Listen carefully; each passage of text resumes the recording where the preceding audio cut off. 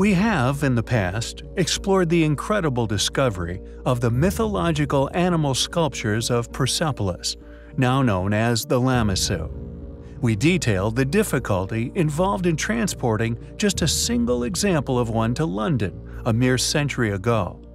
Yet, it would seem a similar situation seemingly also occurred at the ancient site of Amathus, one in which the French quietly endured and restrictively documented. Located east of Agios Tychonis, next to Limassol in southern Cyprus, strategically commanding a stunning view of the surrounding Mediterranean landscape. The main acropolis of Amathus, sitting just out of reach of the tourist track, atop the hill above. This location served also as an additional natural fortification for the site and its ancient observatory. Impressive discoveries have been made at the ruin, including ancient basins, vases, and various other utensils used by past inhabitants of varying eras. Atop the hill were two giant vases decorating the entrance to the main temple, one once dedicated to the god of love Aphrodite, each of which being 1.85 meters tall and weighing an immense 14 tons each. One of which being stolen by the French, specifically architect Edmond Duthoit, during the Ottoman occupation of Cyprus, supposedly given permission to take it away to his country. It now rests in the Louvre Museum in Paris.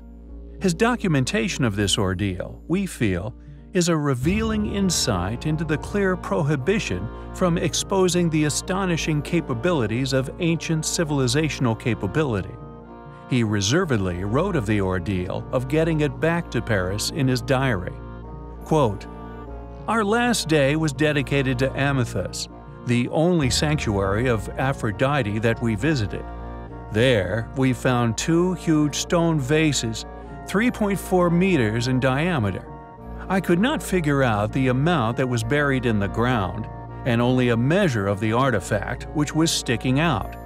I thought if I manage to get it out of there and to convey it into the sea, it will be my biggest achievement. I will begin to study the ways and mechanisms needed to achieve this and to have it transferred. This will create a big impression in the Louvre. End quote. Who made these vases, or indeed the Acropolis itself? They were clearly astonishing vases, having existed to this day and beyond, and along with their sheer weight, we undoubtedly find them highly compelling. We recently covered the astonishing discovery made deep within a coal mine under Rostov in Russia, fortunately photographed by Mr. Kasatkin, an experienced safety engineer who discovered the prints of what clearly appears to have been left by chariots' wheels. These seemingly impossible prints are, thankfully, not the only unexplained artifacts to have been found deep within the mines of Earth. In 1912, workers shoveling coal in the municipal electric plant in Thomas, Oklahoma, would make an equally important discovery. As they were breaking up the large lumps of coal in preparation for the furnaces, to their surprise, a small iron pot would be ejected from one of the chunks. Several experts would examine the iron pot over the following few days, all declaring it to be genuine. Apparently, the imprint of the pot could also still be clearly seen in the broken chunks of coal that had encased it for, in all possibility, millions of years. According to Robert O. Fay of the Oklahoma Geological Survey, the Wilburton Mines coal, in which the pot was found, is an incredible 312 million years old. The cup is now displayed at a private museum in southern Missouri.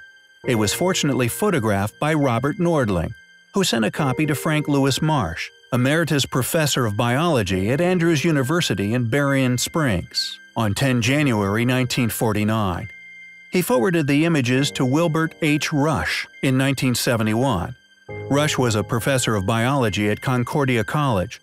This means that we now have several artifacts we know to be in existence, which, according to modern understanding as to the age of coal, are over 300 million years old.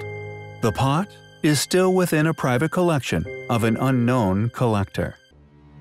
Within a place called Laos, a landlocked country in the heart of the Indo-Chinese peninsula, is probably one of the most confusing archaeological sites on Earth.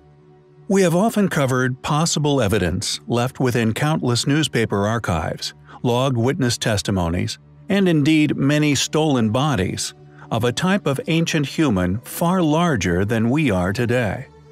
Additionally, there have been many intriguing ancient giant artifacts which have been found at many sites around the world tools, utensils, and structures, created in such scales they would be virtually useless in the hands of modern sized people.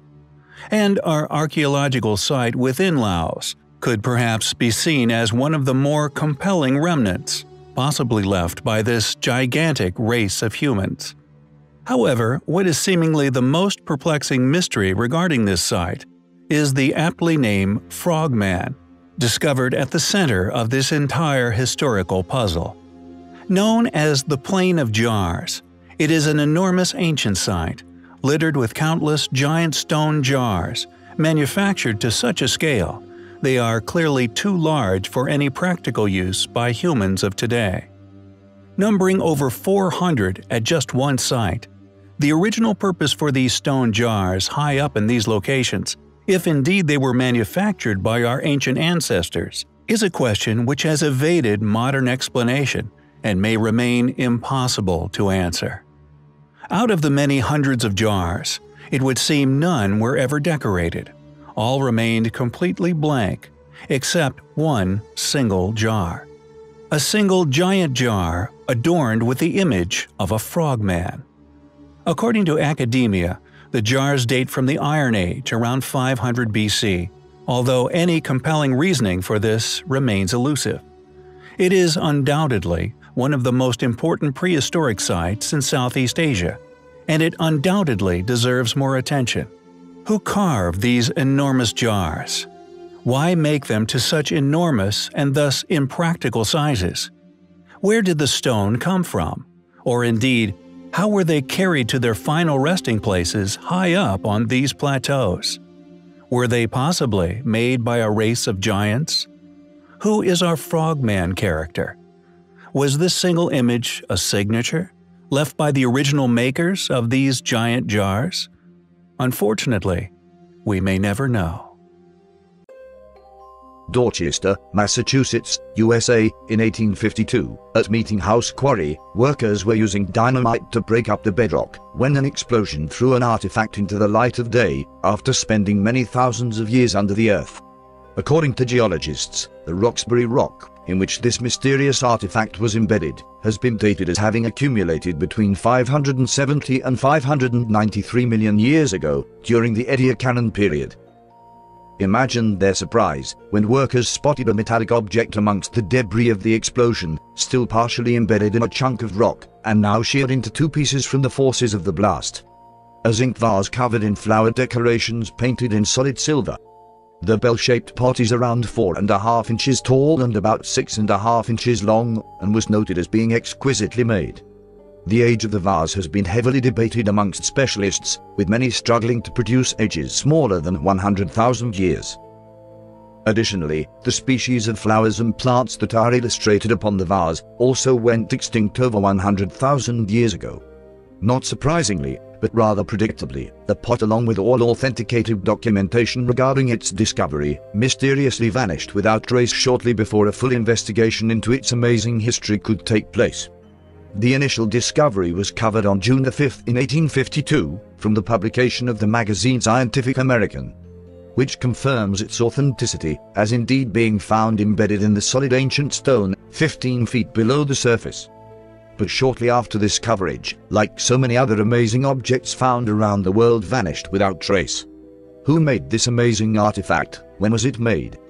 If we go by the age of the rock in which it was discovered, it is amazingly over 500 million years old, but we may never know.